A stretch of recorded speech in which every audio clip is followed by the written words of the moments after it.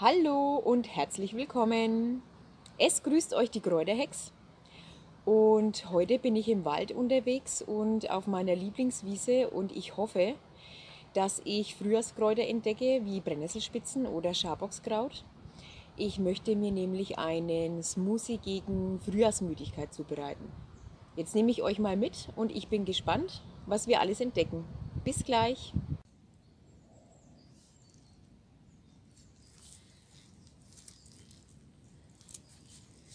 Und da haben wir schon die Brennnessel. Sie sind noch ganz klein, aber ich brauche auch nur ein bisschen für meinen Smoothie.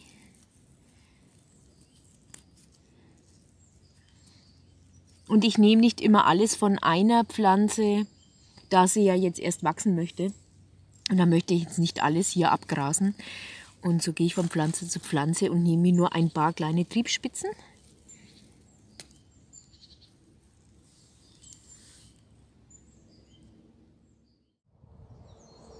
Ich hoffe, ihr könnt im Hintergrund die Vögel zwitschern hören.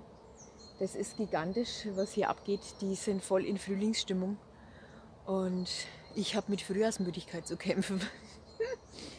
okay, jetzt schauen wir mal, da unten ist ein Gewässer und da gibt es bestimmt Brunnenkresse oder die Bachbunge. Da gehen wir mal hin.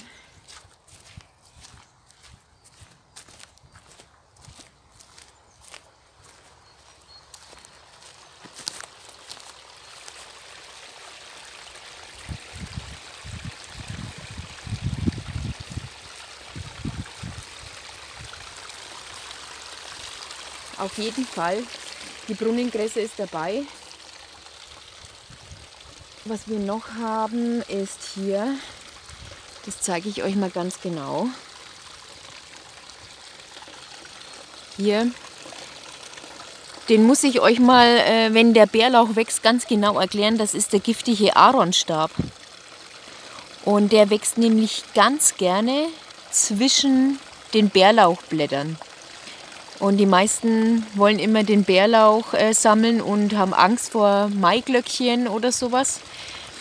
Aber es ist auch der Aaronstab, der dazwischen wächst. Aber da warte ich mal im Frühjahr, bis der Bärlauch wächst und dann zeige ich euch das ganz genau, wie ihr das erkennen könnt. Hier ist er auch nochmal.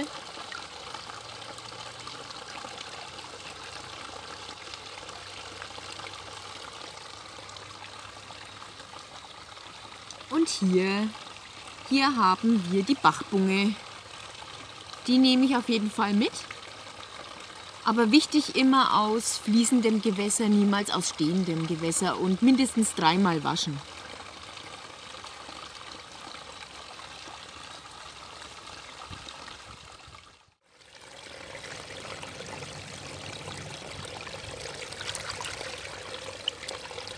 So, daheim nochmal ganz gut waschen.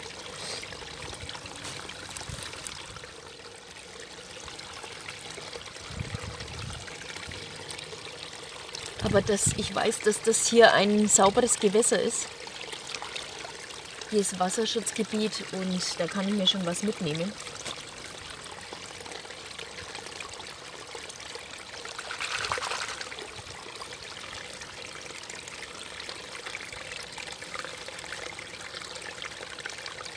Das wollte ich euch unbedingt noch zeigen.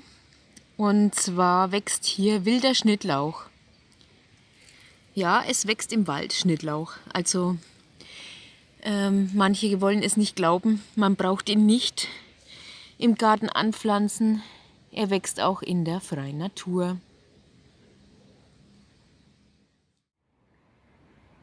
So, ich habe es gefunden. Das ist das Schaboxkraut und das hat ganz viel Vitamin C. Das brauche ich unbedingt für meinen Smoothie. Und zwar heißt es Scharboxkraut. Das darf man aber nur sammeln, wenn es noch nicht geblüht hat.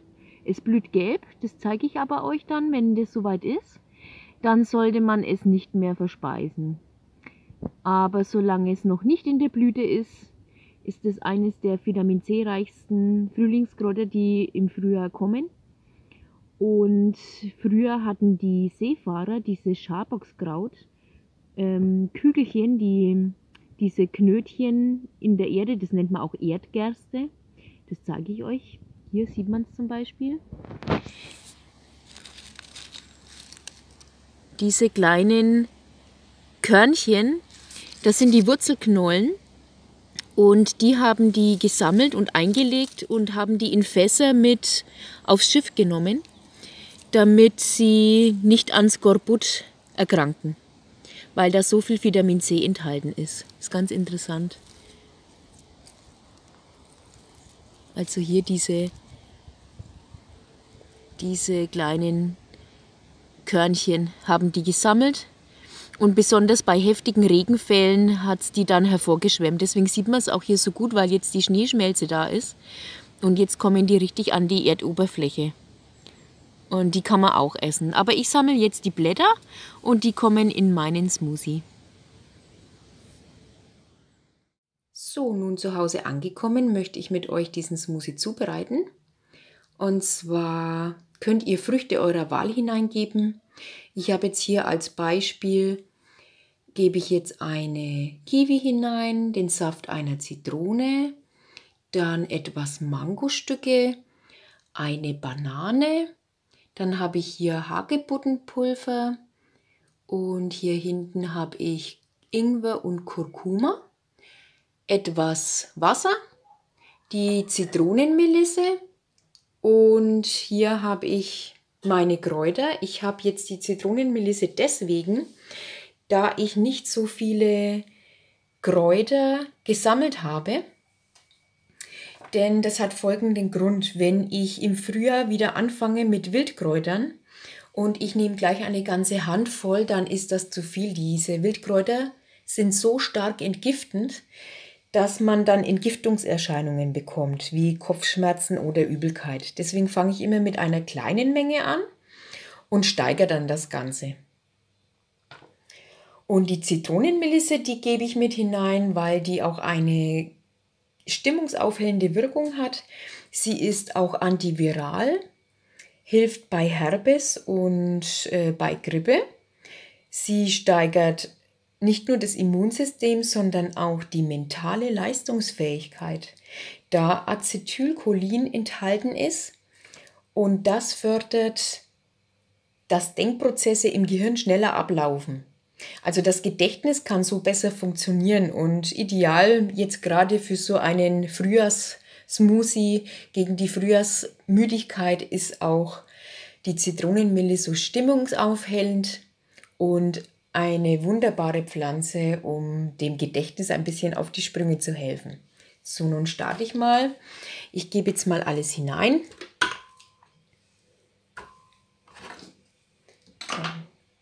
Die Mangos wenn ihr den Smoothie etwas cremiger haben wollt, dann gebt ihr gefrorene Früchte hinzu. Und da gibt es ja auch diese Smoothie Bowl, die man machen kann. Da gibt man nur gefrorene Fruchtstücke hinzu. Da könnt ihr auch vorher die Banane einfrieren. Vielleicht mache ich da auch mal noch ein Video drüber. Das macht gar nichts, wenn ihr die Zitronenkerne mit hineingebt. Da sind Bitterstoffe drin, die sind sehr gesund.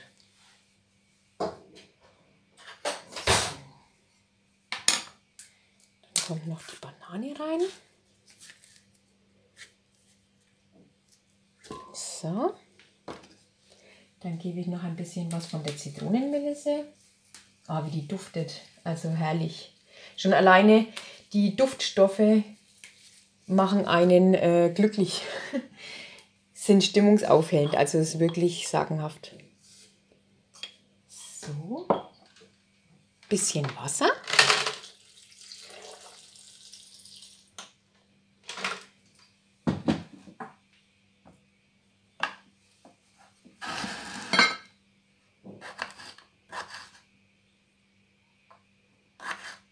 So, dann kommt das Kurkuma mit rein. Ihr könnt auch, wenn ihr keine Kurkuma-Wurzel habt, könnt ihr auch das Pulver mit reingeben.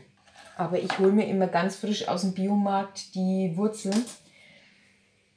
Das riecht auch ganz lecker. Und ich nehme die auch ähm, ganz normal als Tee. Einfach mit heißem Wasser überbrühen.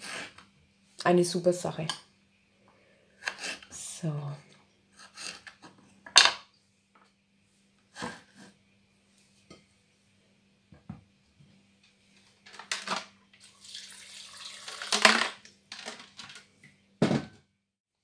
So, jetzt wird das Ganze mal püriert. Kleinen Moment.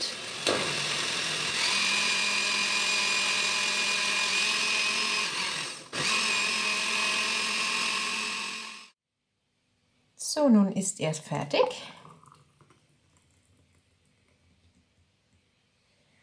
Das Ganze noch schön garnieren. Und dann könnt ihr euch das schmecken lassen. Ich genieße jetzt meinen Smoothie und bis bald zum nächsten Video.